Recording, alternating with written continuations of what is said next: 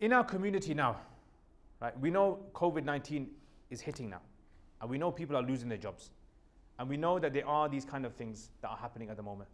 We need to seriously think about how much of an impact is this going to have on those people in our community who are the vulnerable people in our community. You know, they, they, they were doing a survey or something and they said they found because of isolation, the, the number of domestic violence rates increased.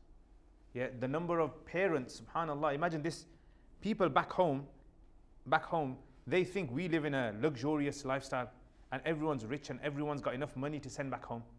And they don't realize that there are mothers and fathers here who can't just about afford to put food on the table for their children in the half term holidays. Now imagine that. That just sounds so strange to any of us. But it's the reality. With people sitting here who probably just kind of like trying to work out if I buy shopping for this week, how much am I going to have left for next week? Am I going to be able to get another job? Am I going to be able to get another? These are serious problems that we have in our own community.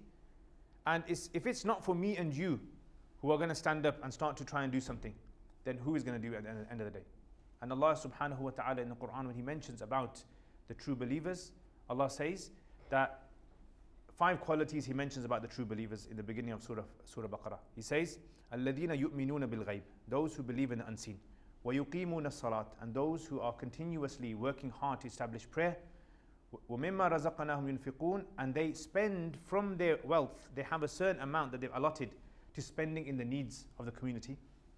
وَالَّذِينَ يُؤْمِنُونَ بِمَا أُنزِلَ إِلَيْكَ وَمَا أُنزِلَ مِنْ قَبْلِكَ And those who believe that Allah's message hasn't just been for Islam, it's been for all the other previous religions as well. And they have certainty that one day they will die. One day me and you are going to die. Yeah.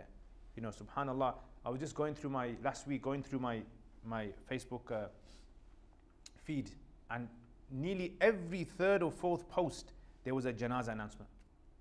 Or there was someone saying someone extremely critical in hospital, make dua for them.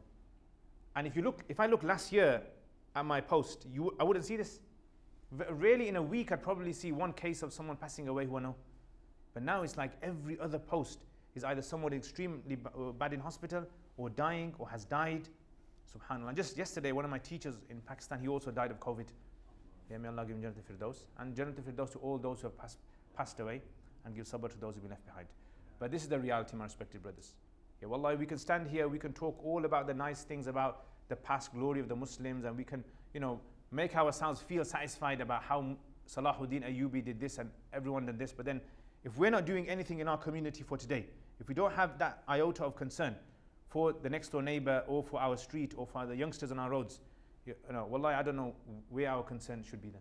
So may Allah subhanahu wa ta'ala give us the ability to be able to understand, appreciate uh, being a Muslim, having faith, having Islam. And also, as I mentioned in the beginning of the talk, wallahi, wallahi, wallahi, brothers, never compromise you being a Muslim. Never, ever. Even if it means that you're going to lose 10 pounds, 100 pounds, 1,000 pounds in a business contract. Just because you stand up for the values of Islam, Allah is going to give you better than that later on in your life. You will see Allah never lets down a believer when, when, when he sees he's doing it for Allah's cause. Allah never lets that person down. So may Allah subhanahu wa ta'ala also uh, allow us to be able to uh, get through these difficult times with sabr jameel. وصلى الله تعالى على خير خلقه محمد وعلى آله وصحبه أجمعين